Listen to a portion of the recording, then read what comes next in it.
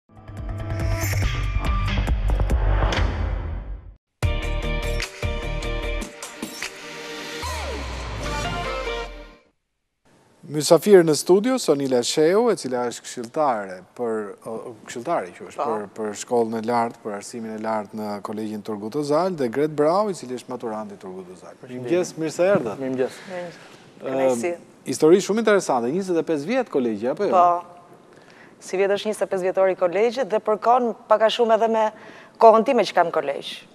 Bashkë me to unë bëj njëzet vjet, afërsisht. Njëzet vjet, sepse dhe ke studiuar në kolegj? Jo, nuk kam studiuar, njëzet vjet punë. Njëzet vjet punë atje? Këtu kam nisur, pikërisht në këto kolegje unë kam nisur vitin e parë të punës edhe vazhdoj. Në fakt, është një kolegj që, domthon, unë nuk po fshihem mbas gishtit, nuk po bëj publicitet, domthon nuk po bëj reklamë, por ka ka goxha emër në në Shqipëri dhe në në Po, është e vërtetë.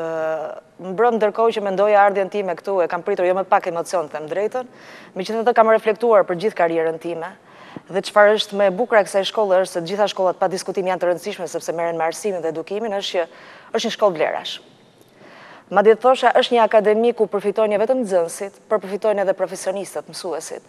Është një shkollë e cila i është përshtatur dhe adaptuar kohës, është zhvilluar vazhdimisht si nga pikëpamja e drejtuesve ashtu edhe nga pikëpamja e profesionistëve dhe mësuesve, duke u dhënë mundësi atyre që punojnë, sikurse edhe gazetarëve. Gazetarin pa diskutim e bën radio, e bën televizioni dhe mësuesin pa diskutim e bën shkolla. Pra, ne flasim për shumë akademi botërore, të cilat Zhvillojnë dhe promovojnë mësues, realisht kolegji është i tillë. Ah, mund të flasim për training for trainers? Po, është e vërtetë. Mund të flasim. Domethënë, unë e kam provuar realisht vetë këtë. Kam parë veten time që kam ardhur si një studente në bankat e kësaj shkolle dhe sot jam në pozicion drejtues. Qenka shumë interesante, domethënë dhe si histori personale shumë interesante, ndërkohë që vjen me Gret Braun, i cili është maturant në shkollë... Te Turgut Ozali i Durrësit. Te Turgut Ozali i Durrësit, po, që mos gaboj godina është sa në rrugën për t'u futur në autostradë.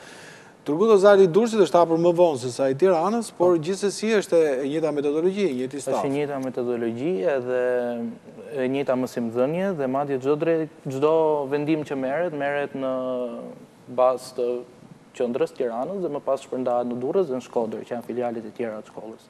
Tani, më thuaj pak, domethënë, ti i ke bërë të gjitha vitet në Turgut Ozal? Jo, unë kam shkuar në klasë të nëntë në Turgut Ozal, po. pasi fitova bursë, fitova 100% në klasë, në fund të klasës së 8, edhe kam bërë klasën e nëntë dhe vitet e gjimnazit në Turgut Ozal. Tani, më thonë që ti ke fituar të drejtën për të shkuar në Universitetin e Harvardit. Po. Si ndodhi? Po. Unë kam patur ëndërr Harvardin që i vogël. pra mund të them që në klasë 7, që në klasë 8, dëgjoja emrin e Harvardit, faktikisht nuk e kuptoja rëndësinë e shkollës, thjesht dëgjoja që ishte një shkollë shumë prestigjioze, më pas kur u rrita dhe kalova në klasë 11, 12, fillova të shikoja kriteret e shkollave, edhe kuptova që Harvardi të jepte shumë mundësi në jetë. Pra, ishte një shkollë me të vërtetë shkollë ëndrrash. Kështu që vendosa të aplikoj, e provova, aplikova në fazën early action, që është faza e parë e aplikimeve dhe që mbahet si faza që nuk merr internacionalë.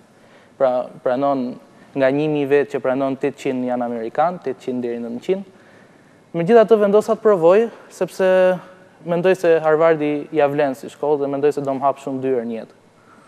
Jo, në qoftë se ti shkon atje e pastaj jeta jote merr një rrjedhë tjetër, për fat të keq, larg syve tanë për disa vjet, por pastaj ndoshta nuk e di se do rikthehesh apo jo, por gjithsesi është...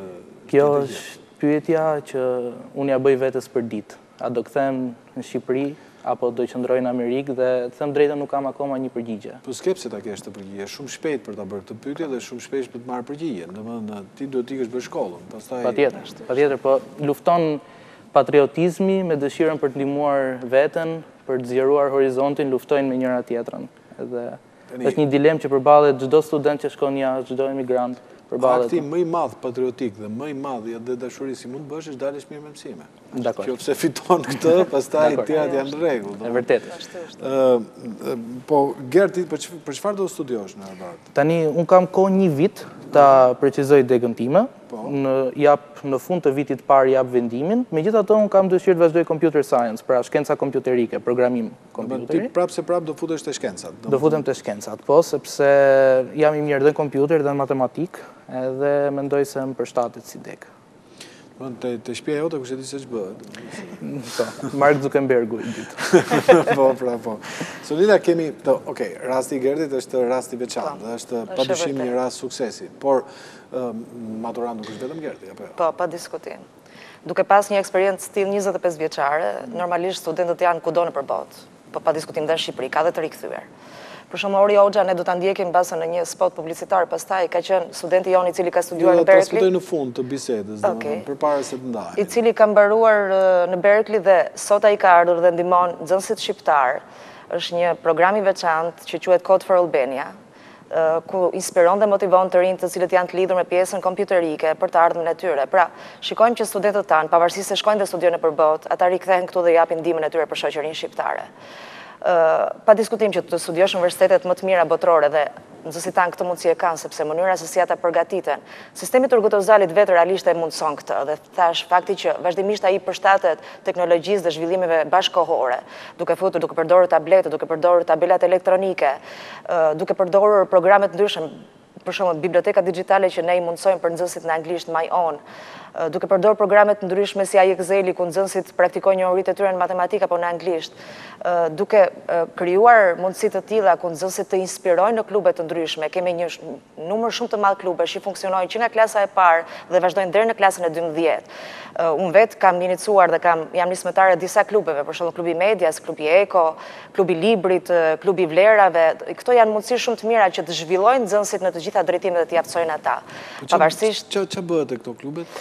Ë, duke qenë se kurrikula jonë e re ka të bëjë me me në qendër nxënësin dhe përpiqet ta lidhi lëndën dhe me jetën, pa diskutim, Ata vazhdimisht ndërmarrin aktivitete të ndryshme, për shembull Klubi i Medias zhvillon aktivitete të ndryshme si brenda shkolle e jashtë shkolle, duke ngritur tematika dhe problematika, duke u takuar me gazetarë, duke vajtur në radio, në televizione, duke u përpjekur të dallojë problematika dhe të shkruajë në lidhje me to në faqet e uebit apo në faqet sociale të shkollës. Dhe kjo është një mënyrë shumë e mirë për për të parë ata jo vetëm brenda shkolle, por për t'i lidhur ata dhe me realitetin. Kjo është një shkollë laike, apo jo? Po, shkollë laike. Domethënë, në këtë shkollë ka, ka rregulla, ka disiplinë, ka... Por, por, por nuk ka një presion, për shembull, siç mund të jenë kolegjet e tjera. Absolutisht jo, absolutisht jo, shkolla është laike. Po, po, patjetër. Çdokush është i lirë, të besojë ku të dojë. Jo, nuk e kam fjalën për për çështjen e besimit, sepse çështja e besimit është private, nuk është është objekt i kësaj bisede. E kisha fjalën për për për kolegjin vetë, si si është disiplina, sepse kur dëgjojmë fjalën kolegj, po ne që s'e kemi idenë, unë gjimnazin Qemal Stafa kam bërë, po. mendoj që futesh në një lloj kuadrati. E di që është ky perceptim, po Mendoj se rregullat e kolegjit janë brenda normave të caktuara. I vetmi ndryshim që mund të kemi nga disa maturantë të tjerë është që detyrohemi të veshim uniformën. Jo, tashmë e kanë gjithë këtë. Tan, për tani është në masë, po edhe në shkollat publike, kështu që jo, nuk është si shkollat e tjera. Pra, për nga ana e rregullave, për nga ana e mësimdhënies është, besoj është më mirë. Kjo do të thotë që ti si si djalë i ri ose ose vajzat që janë atje, domethënë jetojnë jetën e tyre normalisht, domethënë. Patjetër, patjetër, po. Nuk është se ju mbyllin atje për shembull dhe ju ndalon njeri që të të shkoni buzë detit, domethënë. Jo, jo, jo. Çdokush është i lirë. Pyetje naive është Sonila apo duhet? Jo, po është gjithsesi koncepti që ne kemi për kolegjet kudo nëpër botë, kolegjet më të mira, pa diskutim, ky është realisht. Por gjithsesi unë mendoj që duke qenë, duke pasur shumë vite aty, janë aq të lirë, po njëkohësisht janë shumë të lidhur me njëri-tjetrin. Domethënë, ne vazhdimisht organizojmë aktivitete të ndryshme, riunione ku nxënësit bashkohen dhe kanë gjithmonë tendencën vijnë dhe na takojnë. Koncepti që ka krijuar Turgut Ozali, qoftë në mënyrën se si kolegët bashkëpunojnë me njëri-tjetrin, se si drejtuesit punojnë me me me punëdhënësit e tyre, është një koncept i cili mendoj që ekziston në organizatat më të mira botërore, në institucionet më të mira private botërore, ku i bëjnë të ndjehen si një familje, ku njerëzit punojnë të pafrustuar, ku njerëzit punojnë këndshëm, ku njerëzit ndajnë eksperiencë me njëri-tjetrin, ku njerëzit nuk janë egoistë ta mbajnë eksperiencën për vete. Kështu ndodh dhe me nxënësit. Domethënë, nxënësit bashkëpunojnë shumë mirë me njëri-tjetrin dhe thashë, në momentin që ata ritakohen, kanë mallin, nostalgjinë, madje shpeshherë edhe kur kanë kaluar vite të tëra dëshirojnë ata të kthehen tek ne. Tani, Gerti më tha që merret me, që do të merret me shkencat kompjuterike. A ma shpjegon dot çfarë është kjo biblioteka Majon? Domethënë, çfarë do të thotë? Ju keni një bibliotekë virtuale, uh-huh, në kompjuter, çfarë? Po, është um, një bibliotekë virtuale e cila na lejon ne aksesin në libra të ndryshëm që ofron shkolla jonë. Po doja të shtoja pak te kjo pika që shkolla edhe gjatë kohës së karantinimit na ka ofruar suportin online, po edhe kur jemi në shkollë, ndan, bën grupe të diferencuara, Ata që janë të interesuar për matematikë, mblidhen në grupe të ndryshme edhe studiojnë shtesë, dhe kjo është një ndër arsyet kryesore pse ne kemi kaq arritje. Unë për vete kam arritje në olimpiadat e matematikës, kam zënë gjithmonë vend të parë ose të dytë në kombëtare, pra që do të thotë që ne punojmë shtesë, punojmë me profesorat më të mirë dhe prandaj arrijmë. Je i bindur që do bësh shkencat kompjuterike dhe jo matematikë të aplikuar për shembull? Kam në plan ta vë matematikën e aplikuar si degë të dytë, sepse Amerika ka një sistem major, minor, ku majori është dega kryesore dhe minori është dega dytësore. Ah, e kuptoj. Dhe matematikën e aplikuar kam në plan ta vë si degë të dytë, që mund të ndihmojë për zhvillimin tim nga ana shkencore, le të themi, por e shoh, computer science-in e shoh si një mundësi më të mirë punësimi dhe është diçka që unë e bëj me pasion. Ka ka nxënës të tjerë të të dalluar, domethënë si është matura në përgjithësi, Sonila? Realisht ndryshojnë trendet, kam përshtypjen, nga viti në vit. Në përgjithësi shikoj një, duke qenë se merrem me këshillimin për karrierën, shikoj një tendencë për të vajtur nga degët e ekonomisë shumë. Po pse pikërisht atje? Kam përshtypjen zhvillimi ekonomik bën të vetën, fakti që duan, domethënë, bizneset ecin, markat zhvillohen, dhe nxënësit e ndjejnë. Përveç kësaj, mendoj që lidhet pak edhe me bizneset private. Duke qenë që një pjesë e madhe nxënësve, mbase kanë biznese private, kërkojnë t'i japin një këndvështrim të ri biznesit të tyre dhe lidhen dashi pa dashi me këtë pjesë. Por mbase dhe tendenca e përgjithshme botërore shkon këtu. Megjithatë ka dhe nxënës që duan studiojnë mjekësi, mbase më të paktë në numër, por që duan të studiojnë mjekësi dhe do thosha që jo aq në në Shqipëri sa sa në Gjermani për shembull. Gjermania është një nga vendet që synohet shumë nga student, nga maturantët tanë në në mjekësi sidomos. Po Gjermania është e vështirë për ta për ta, po, fituar. Po është e vërtetë, është e vështirë dhe unë shikoj ne sot kemi nxënës, janë mbi 10 nxënës që duan studiojnë mjekësi në Gjermani. Dhe nuk është e lehtë sepse ne normalisht si gjuhë të parë kemi anglishten.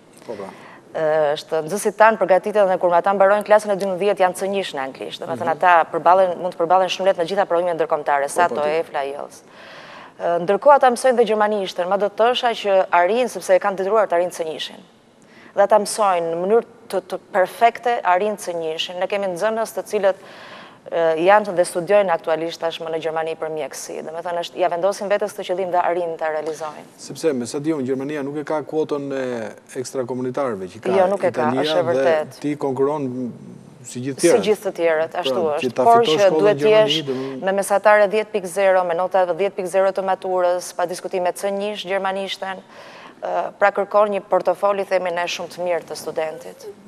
Ka, keni një përqindje ju që pjesa më e madhe e maturantëve qëndrojnë këtu për shkollat, apo shkojnë në universitetet? Me sa shikoj këto vite që unë i shikoj nga afër, rreth 50% e nxënësve studiojnë jashtë shtetit.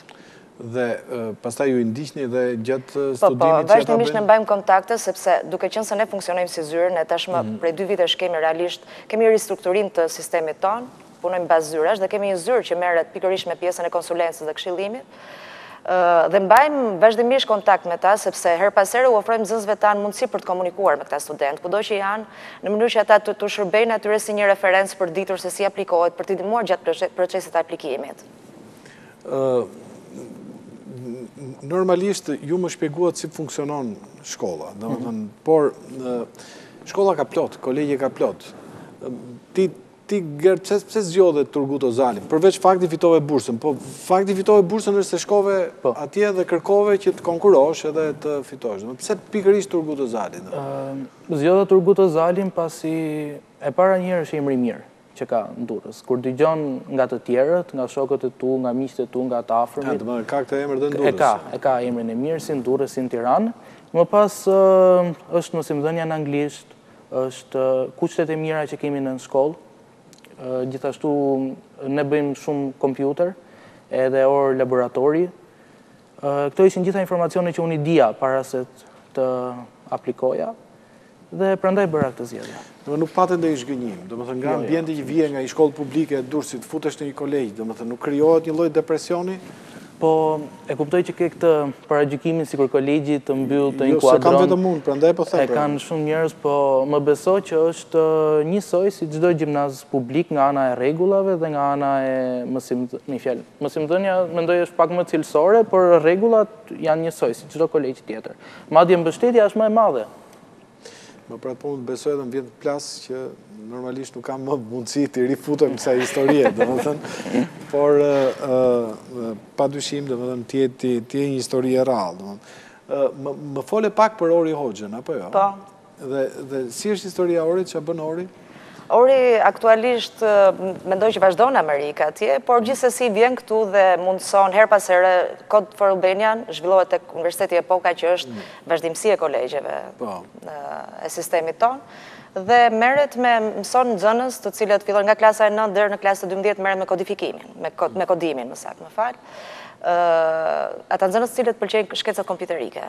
Domethënë është një mundësi shumë e mirë. Unë Orin... Gerti ka pas kontakt me Orin i bie, domethënë. Jo, unë nuk personalisht nuk kam patur, po kam patur me kolegjistë të tjerë, për shembull me po. Bariolin, me Gledisin, Gledis Kallçon, që kanë shkuar në MIT. A, e kuptoj. Pra kemi, ruajmë kontakte me nxënësit e kolegjit, pasi ata edhe vijnë, bëjnë konferenca pastaj me nxënësit, edhe na tregojnë se si kanë arritur. Është network, funksionon si network. Po, është gjë shumë e mirë. Është network. Pra, në një farë mënyre, edhe ti nesër pasnesër, kur të shkosh, eksperiencën tënde nuk do ta mbash për vete. Do kthehem dhe do t'ia tregoj nxënësve të tjerë, po. Domethënë, ky është një lloj detyrimi, apo është një gjë që ti do ta bësh? Detyrim moral. Detyrim moral, po. Kjo është e gjitha. Ashtu është. Ju falenderoj shumë dhe po transmetoj Orin, atë materialin e shkurtër që kemi përgatitur, Ju uroj shumë shumë suksese. Faleminderit. Ty veçanërisht, por edhe ty Sonida, hmm. sepse normalisht nga një herë shumë këshillat tuat mund të shkojnë në kundërshtim me dëshirat e të rinjve, por nuk është punë e lehtë që ta bindësh që të shkojë atje ku duhet, domethënë. Absolutisht, është e vërtetë. Dhe ne shërbejmë për këshillim faktikisht, domethënë thashë të gjitha këto, kjo mënyrë organizimi të çon drejt një zgjedhje, por fundi i fundit zgjedhjen e bën nxënësi në fund fare. E bën nxënësi, pa dyshim. Por po t'i lëmë fare fare pa këshilla, i bie që do të bëhen të gjithë aktorë, këngëtarë dhe regjisorë. Absolutisht, është e vërtetë. Edhe vështirë është se të kemi më mjekë edhe në një tjetër. Ashtu është. Faleminderit shumë për praninë. Shumë kënaqësi. Edhe historia e Turgut Özalit, vetë Turgut Özal, si personalitet politik i jashtëzakonshëm i Turqisë moderne, njeri i cili në vitet 90 modernizoi akoma dhe më tepër shoqërinë. Prandaj edhe kjo shkollë mban emrin e tij, domethënë.